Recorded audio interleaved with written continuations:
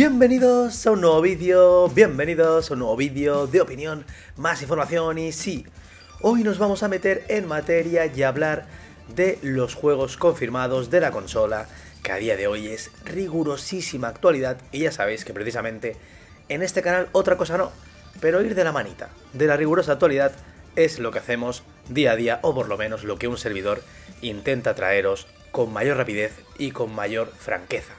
En este caso, vamos a empezar a hablar. Vamos a poder ver que de momento sí que es cierto que no hay muchos videojuegos confirmados partiendo de la base de que queda un añito para que salga la nueva generación, sí que podemos empezar a sacar conclusiones de que, por ejemplo, tenemos un tridente de exclusivos del ecosistema Xbox bastante interesantes y con perfiles muy diferentes, y algunas compañías que están apoyando ya de manera notable lo que sería el salto a la nueva generación y trabajando para ella, y por supuesto algunos proyectos ambiciosos de algunas compañías como Bethesda.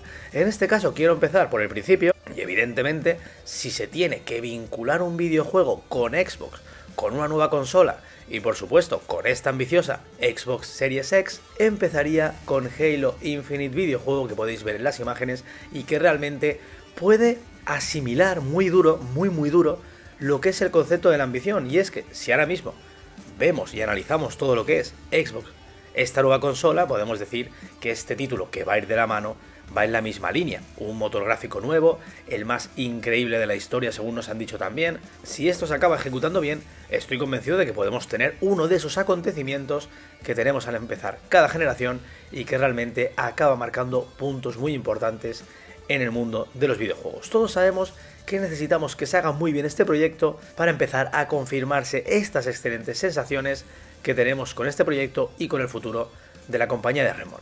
Continuamos con el título Ubisoft God and Monster, que se ha confirmado que va a salir en todos los sitios del mundo.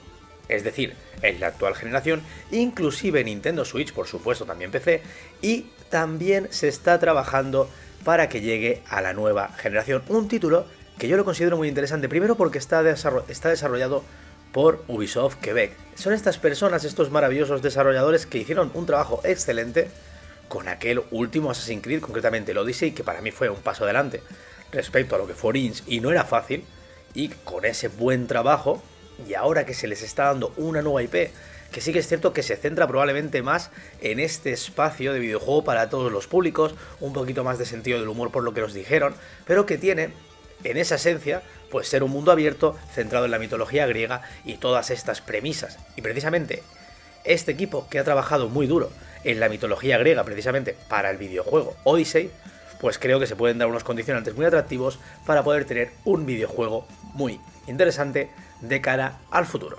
Continuamos con Ubisoft, continuamos con Watch 2 Legion y es que este videojuego si finalmente se cumplen las expectativas puede ser un salto adelante en la saga importante.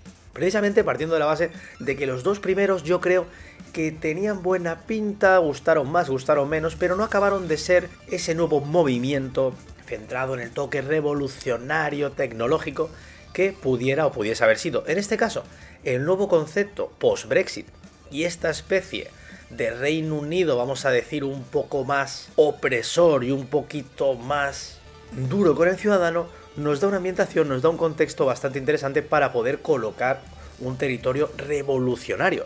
Y partiendo de la base de esta especie de sistema en el cual podremos reclutar prácticamente cualquier NPC, como nos prometieron, creo que podemos entrar en unos parámetros interesantes para poder vivir este concepto, vuelvo a repetirlo, basándonos en este enfrentamiento entre revolución contra Estado opresor.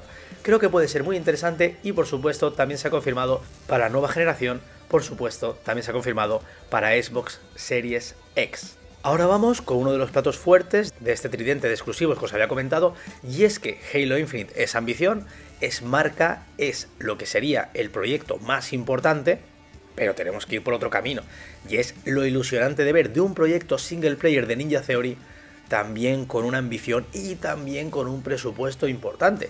Veremos a ver al final por dónde van los tiros de Hellblade 2 porque se ha visto muy poco. También tenemos muy poquita información, yo estoy muy interesado y con muchas ganas de ir sabiendo más también para ir transmitiéndolo en el canal. Pero claro, la premisa es clara y es muy, es muy fácil. Si disfrutamos de un videojuego de corte independiente, de corte AA, muchísimo, precisamente con estos desarrolladores, pues imaginaros que podemos ver en esta línea con presupuesto, con ambición, con dinero, con apoyo, con tranquilidad, con tiempo, puede salir algo absolutamente brutal. Este Hellblade 2 puede ser una de las mejores noticias que tengamos en el principio de la próxima generación. Seguimos con Rainbow Six Quarantine y es que Ubisoft se apunta a todos, se apunta a un bombardeo, los vamos a ver en todos los sitios. Creo que el apoyo al mundo de los videojuegos es muy importante y otra cosa no, pero fijaros, cuando sale Stadia, ellos están ahí apoyando de manera titánica lo que haga falta, el Uplay Plus lo que haga falta. Cuando sale Nintendo Switch, la apoyan también, vuelvo a repetirlo, de manera titánica, que sí con exclusivos inclusive, como aquel maravilloso Mario Rabbids Kingdom Battle, ¿os acordáis? Y con la nueva generación, evidentemente, que encima es caballo ganador, pues no van a ser una excepción. Y aquí lo podemos ver ya con bastantes juegos confirmados que van precisamente en clave de la gran distribuidora francesa. Ya sabemos el éxito que ha tenido Rainbow Six en esta generación y evidentemente dándole un contexto de cuarentena, pues precisamente creo que podemos estar ante otra fórmula de bastante éxito. Hablando de ambición, creo que Bethesda también tiene algo que decir en todo esto. Sabéis que tiene dos sagas icónicas, sabéis que tiene dos sagas importantísimas, sabéis que tiene dos sagas que son dos emblemas en lo que sería el mundo de los videojuegos de concretamente de mundo abierto y rol. Pues ellos quieren sumar un nuevo invitado que cumpla estos parámetros, pero esta vez nada de medieval, esta vez nada de mundo posapocalíptico, evidentemente estoy haciendo referencia a The Elder Scroll y Fallout, en este caso, el nuevo invitado a la fiesta, confirmado para la nueva generación, es Starfield. Veremos a ver al final cómo se acaba ejecutando, veremos a ver por dónde van los tiros. Yo tengo mucha confianza en Bethesda, sobre todo después de saber que llevan mucho tiempo en este desarrollo. Creo que todo esto puede ir en la línea de que salga bastante bien. Veremos finalmente cómo se acaba dando este nuevo proyecto que viene para sumar un tridente fuerte, duro, con personalidad de esta compañía. Otro de los videojuegos que está confirmado, y la verdad es que se habla poco, es este Dying Light 2, ya sabéis, aquella primera parte que tuvimos en el inicio de la generación. Francamente, fue un concepto interesante, ¿no? Esto de un mundo posapocalíptico donde se le daba mucha importancia al parkour, donde por supuesto teníamos aquellos zombies que por la noche eran mucho más agresivos, siguiendo la estela narrativa de una película maravillosa o unas novelas maravillosas como la de Soy leyenda, y evidentemente esta segunda parte, donde encima nuestras decisiones van a tener un impacto bastante importante en la narrativa, donde vemos este paso adelante, donde vemos cómo este mundo post-apocalíptico sigue evolucionando, creo que tenemos una premisa interesante y sexy para poder tener esperanza en que este videojuego es el clásico tapado, que al final acaba sorprendiendo y al final acaba siendo un videojuego bastante bueno. Me viene a la cabeza, por ejemplo, yendo en esta línea de videojuego tapado Control, ¿no? Poco se hablaba, sabíamos que estaba detrás Remedy, sabíamos que el proyecto pintaba bien, en solitario tal, por dónde van los tiros, y al final fijaros que Control se ha convertido en uno de los videojuegos más queridos y mejor valorados dentro de ese contexto de videojuego tapado de este año 2019. Yo tengo muchas esperanzas en este Dying Light 2, veremos a ver y recordar por supuesto que está confirmado para la futura generación. Continuamos con Everwild, el nuevo proyecto de RAR que yo espero que recupere el significado de lo que es la propia RAR. Sabemos que desde su fichaje por Microsoft hemos visto como poco a poco se ha ido deteriorando y evidentemente todo esto ha recibido el impacto de la fuga de cerebros que ha tenido la compañía. Pero yo estoy convencido de que con buen trabajo, con mimo, con cariño y evidentemente aprovechando también las maravillosas propiedades intelectuales que tiene, creo que se le puede acabar sacando mucho rédito a lo que sería esta desarrolladora. En este caso, Everwild viene a demostrarnos que buscan un camino también en lo que sería el single player y evidentemente es algo que muchos deseamos cuando vemos esta histórica marca.